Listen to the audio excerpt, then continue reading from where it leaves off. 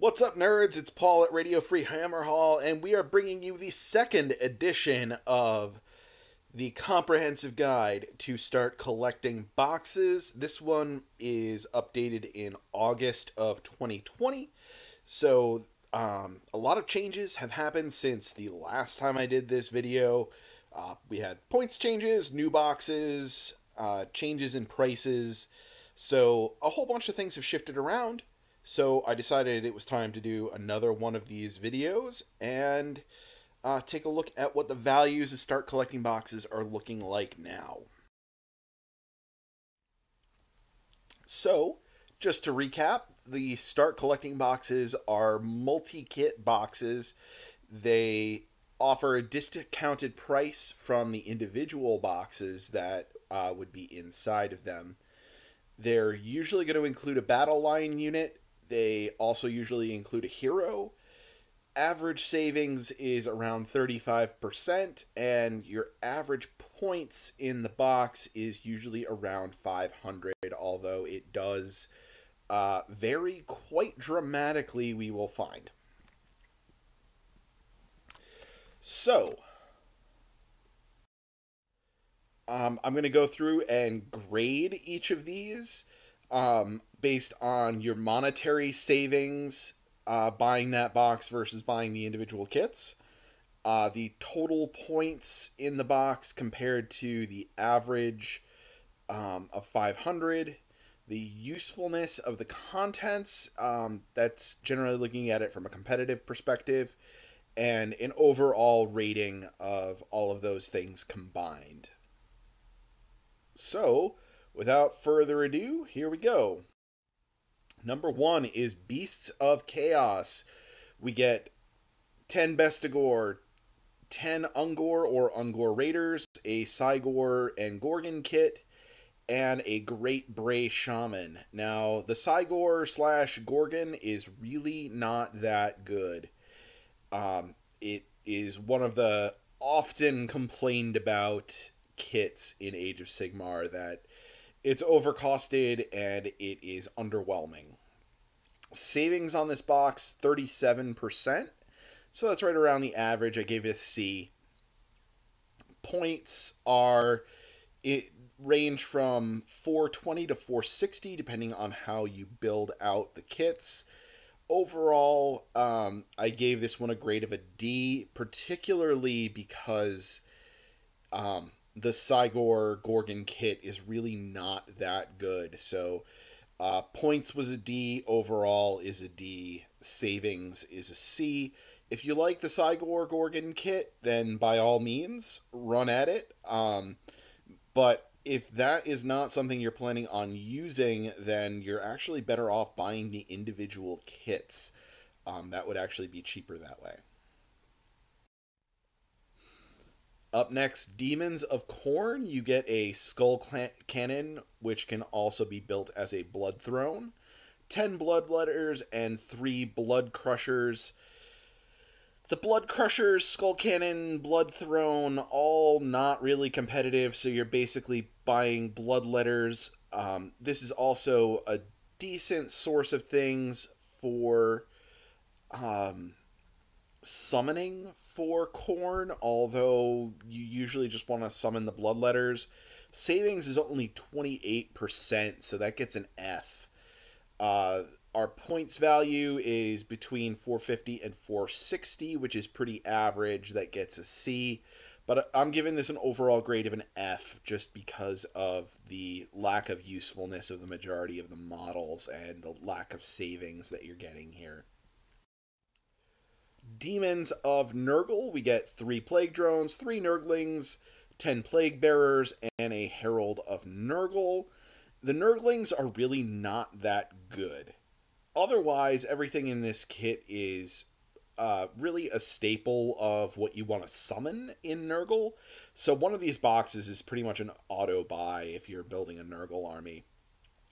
Savings is 44%. That's a solid B and the points come out to exactly 500 so exactly the average points value of these boxes overall, I gave it a C because the Nurglings are not that good, but otherwise, this is um, a strong buy if you are building a Maggotkin of Nurgle army. Demons of Slaanesh, you get an Exalted Chariot, 10 Demonettes, and 5 Seekers. The Exalted Chariot does not um, have a kit available for itself right now, so this is actually the only place that you can get it. All of the models in this are pretty strong. Um, however, the savings is only 30%, so this is getting a D on savings. Points 400, also getting a D, so overall grade, I'm giving this one a D. Although, again, if you're starting a uh, Slaanesh army, this may be a good pickup of a couple of these, actually. Um, even though, you know, you're still saving money and there's still a decent amount of points in the box. Uh, the demonettes are staples, and uh, the chariots are also staples. So it's really kind of uh, a catch 22 with this one. Um, it, the box on its face is not that good in terms of the value of what's in it, but the play value is pretty good. Demons of Tzeentch, I just wanted to make a note here that this box is no longer available. Uh, I don't know if we're getting a new Demons of Tzeentch box, but this one has been discontinued. All right, the Khorne Bloodbound Goreblade Warband. This is the repackaged Khorne half of the original Age of Sigmar starter box. You get the Mighty Lord of Khorne slash Korghos Khul, uh, a Bloodsecrator, a Blood Stoker, a Khorgorath, five Blood Warriors, and ten Blood Reavers. Um, all of these heroes are currently not available on their own, so you really have to buy this box to get them. Um, and therefore, I also had to kind of estimate on the prices on those. I tried to estimate kind of in the middle of where Khorne heroes tend to be. So, estimated savings 53% gets an A, points uh, 610 to 650 also gets an A. This is probably the best one of the start collecting boxes that you have available to you. It is all staple stuff for a Khorne army. You get a bunch of things that you can't get anywhere else, and it's all good value. There's a lot in the box. So, definitely one to pick up if you are starting a Khorne army. Right, Maggotkin of Nurgle. So you get two Pusgoyle Blight Lords, which can also be built as a Lord of Afflictions, a Lord of Blights, and five Putrid Blight Kings. Now, the contents of this are a little bit controversial because some people don't really believe in the Pusgoyle Blight Lords. Personally, I do. I really like them. Um, Lord of Afflictions is also really good. Um, so personally, in my personal opinion, this box is actually one that you want to buy like three of if you're starting a Maggotkin army. Uh, so you get four Pusgoyles and a Lord of Afflictions and 15 Blight Kings. You get a couple of extra Lords of Blights, but uh, those can be converted up into other heroes or into uh, just more Blight Kings your savings on this pretty average at 38%. That gets a C. Points 470, also getting a C. So overall, this gets a C, although personally in my heart, it's an A. Skaven Pestilens. We get the Screaming Bell Plague Furnace kit, the Warp Lightning Cannon Plague Claw Catapult kit, and 20 Plague Monks savings 35% or a C. And for points, ranges from 510 to 580, also getting a C on points. Overall, I give this a B just because of how strong the playability of this box is. This is really Like you're probably going to buy multiples of this box for a lot of Skaven armies. Um, so the Plague Monks very good. Screaming Bell very good. Warp Lightning Cannon very good. Plague Furnace also definitely has a place. So it is a possible multi buy for Skaven players starting out their army. Slaves to Darkness. This is one of our new additions. You get. Oh, I did not change uh, what is in here, but you get five Chaos Knights, 10 Chaos Warriors, a. and a uh, Chaos Lord on Karkadrak. I apologize for the error in this those are all new sculpts which are not available anywhere else right now so the savings is sort of unknown um, until those kits come out since all of this is not available and doesn't really compare well to what already exists points it comes out to 570 which is a solid b so overall i'm going to give this a b all of this stuff is really playable that's in this i think it's a really good box um, particularly the sculpts are really awesome in this box if that's what you're going for. And uh, that Lord on Karkadrak is really strong, really good. Like him a lot. Moving on to Grand Alliance Death. We got the Flesh Eater Courts box, which comes with 20 ghouls, a zombie dragon terrorgeist kit, three crypt horrors and crypt flayers, and all of this is like strong staple stuff for the army. Savings is only 31%, so that gets a D, but your points range from 530 to 710, which is a strong B. Um, this is definitely a multi buy if you are building a uh, Flesh Eater Courts Army. Uh, I could honestly see buying up to four of these kits, uh, just because the zombie dragons and terror geists are really strong, and uh, you need a bunch of ghouls, and the crypt horrors and flayers are also pretty strong. So you could basically build an army out of four of these boxes, and it would be pretty solid, which is kind of cool. Malignants is our next one. This is sort of a holdover from before we get a whole bunch of new books. Uh, it doesn't actually fit necessarily into an army.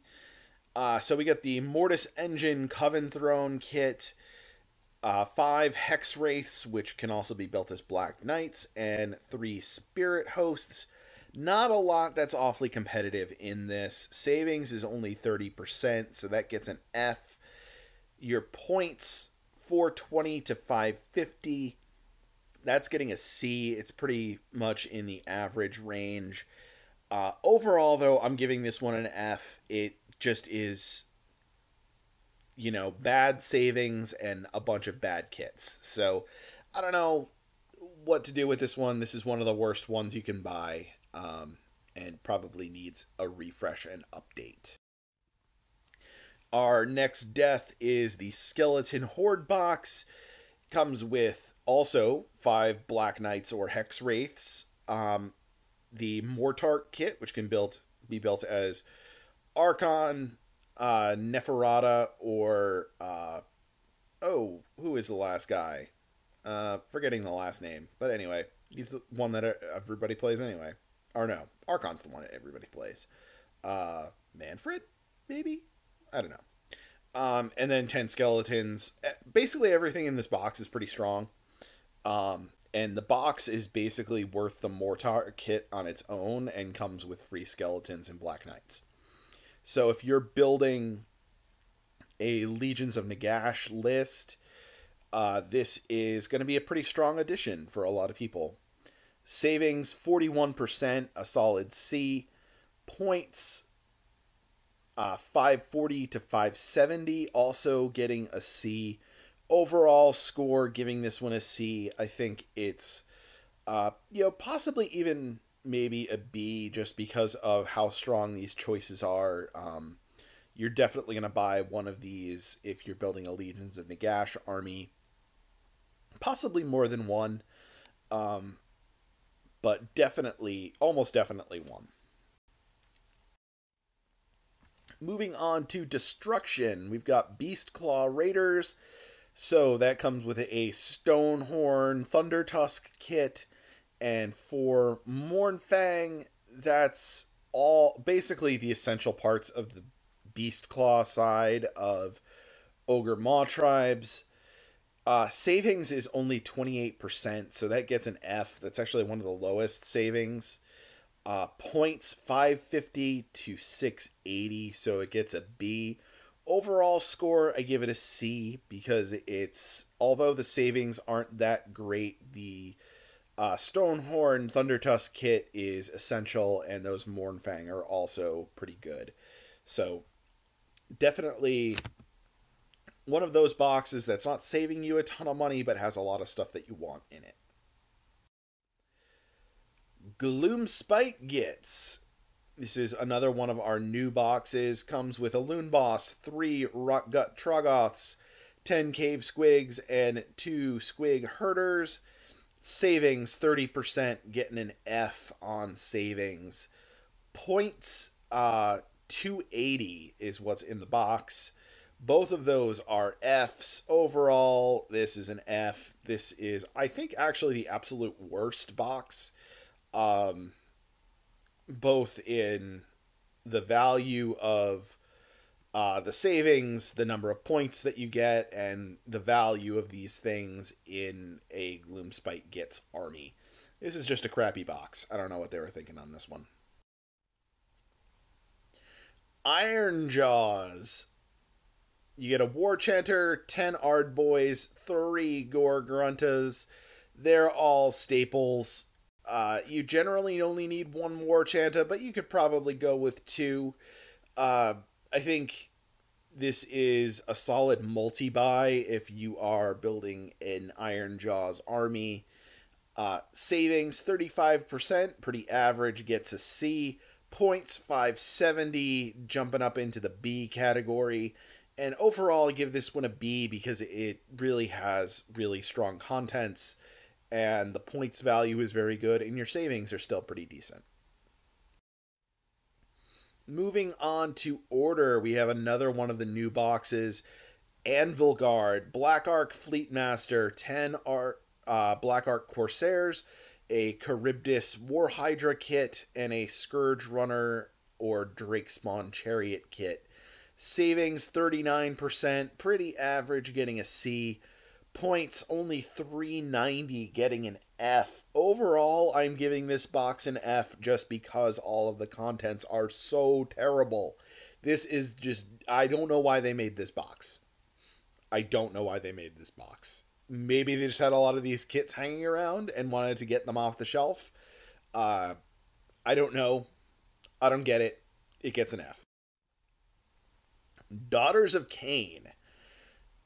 Yet another one of our new boxes. Uh, got the Cauldron of Blood kit, which comes with a bunch of other hero options. It could also be built as the Bloodwrack Shrine, and it comes with five Melusai.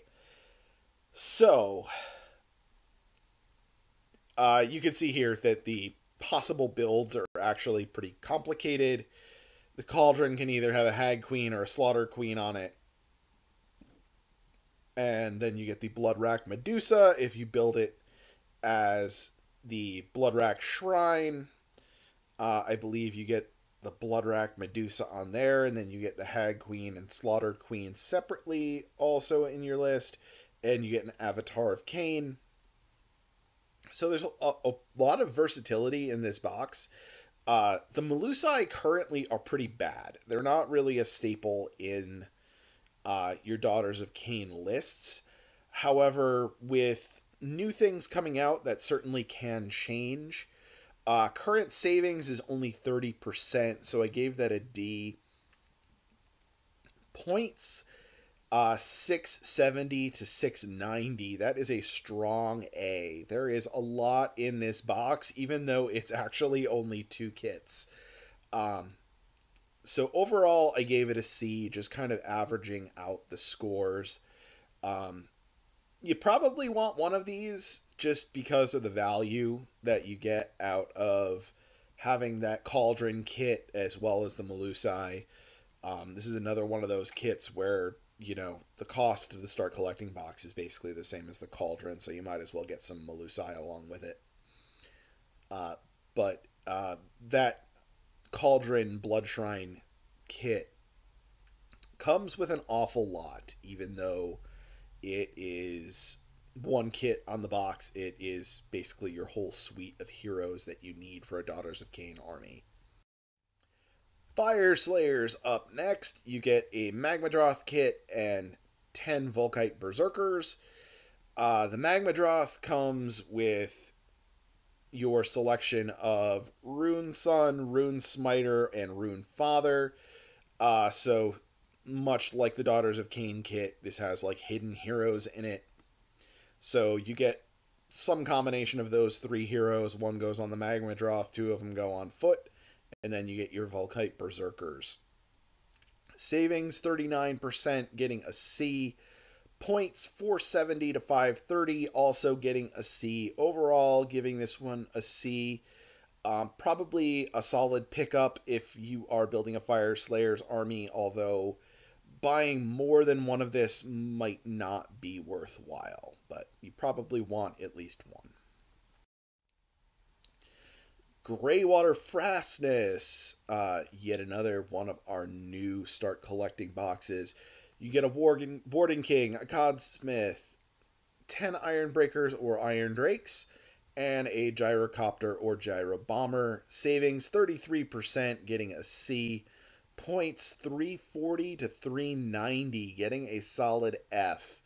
Now, here's the trick with this the gyrocopter Gyro Bomber, really not good, not worthwhile. Cogsmith is actually pretty terrible because he the things he buffs are really bad. So you're really buying this for a Warden King and 10 Iron Breakers or Iron Drakes. So overall, I gave this one a D. Um, uh, if you want the gyrocopter or gyro bomber, then I think it becomes a buy. Otherwise, this is probably a box you can skip. Idoneth Deepkin, uh, three Akhelian Guard, 10 Namarti Thralls, and a Soul Render. Um, savings is 31%. I gave that a D. Points 340 to 370. That gets an F. Overall score, I'm giving this one an F. Uh, just because of the general low value of what's in here. Um, Namarti Thralls are not that great. The Soul Render are not is not that great. You're better off just buying a whole bunch of Akhelian Guard on its own.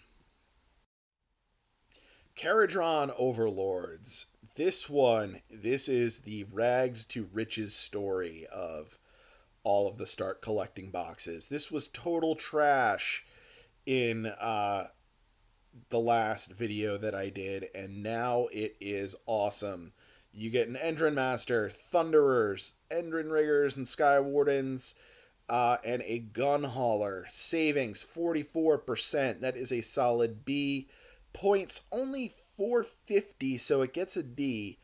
But overall, I'm giving this one a strong B. This is probably a multi buy kit for your current Kharadron Overlord's army. Everything in this box is good. Uh, the Endrin Master, a little bit questionable, but if you're running the Iron Sky Command, you probably want one of those in your list, depending on how you're building it out. Um, so yeah, I, I, would say for a lot of Kharadron players, pick up two of these. Seraphon, you get a Carnosaur kit, uh, which has multiple builds 12 Saurus Guard, 8 Saurus Knights. Very little of this is actually competitive play. The Saurus Guard are seeing some play here and there now with the new book. Savings 49%, getting a B points 400 to 420 getting a D just because of the limited use of what's in here and the points value I have to give this one a D overall not really that strong however Skinks the other Seraphon box you get a Skink Star Priest, 12 Skinks, 3 Pterodons or Ripperdactyl Riders, and a Bastiladon. Everything in this box is good. Your savings, 47%, that's a solid B. Points, 480 or 490, depending on how you build out those Ripperdactyls and Pterodons. That gets a C. And overall, I'm giving it a B. It might even go higher than that. Um, this is a possible multi-buy for uh, Seraphon players. Because uh, you always need more skinks. The uh, Bastiladon is really good. A lot of lists are running more than one. And the Pterodons and Ripperdactyls are also pretty good. So that is uh, a strong box overall. All right, Stormcast Eternals Thunderstrike Brotherhood. This is the yin to the yang of the Khorne one. This is the Stormcast side of the original starter box for Age of Sigmar. Comes with three Retributors, a Lord Relictor, Lord Castellan on Dracoth. I'm sorry, Lord Celestant on Dracoth. All the Stormcast have names that are way too similar, and they really need to do something about that. Uh, 10 liberators, 3 prosecutors. Savings 59%, getting an A. Points uh, 680 to 740, also an A. Overall, this gets an A for this box. It's one of the best values.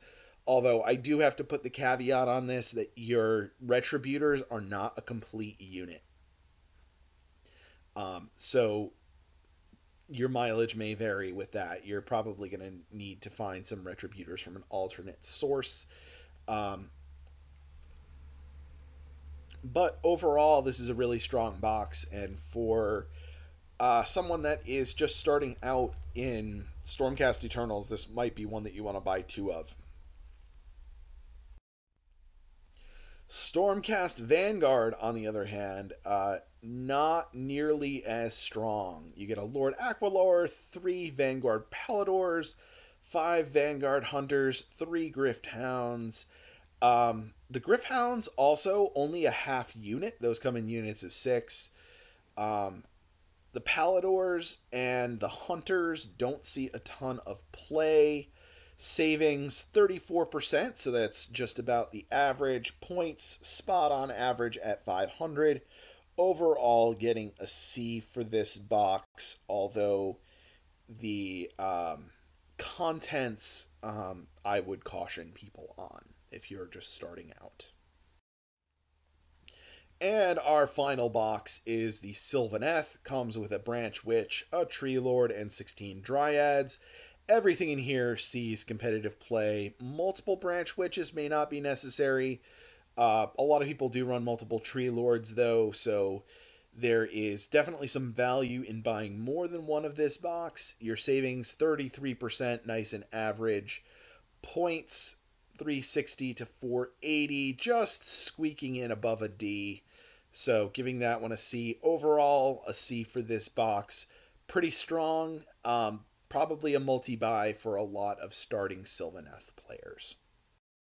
All right, everybody, thanks for watching. Don't forget to like and subscribe. Hopefully, this is useful to a lot of new players getting started out to see uh, what start collecting boxes are going to be of value to them. Uh, the last one of these was pretty popular, uh, so hopefully uh, this one people also find useful. Uh, don't forget to check out our Patreon. 100% of our proceeds from Patreon go directly back into the channel, making improvements such as new equipment and uh, subscription services, etc., software, things like that. So, uh, that is all for now, and I'll talk to you all later.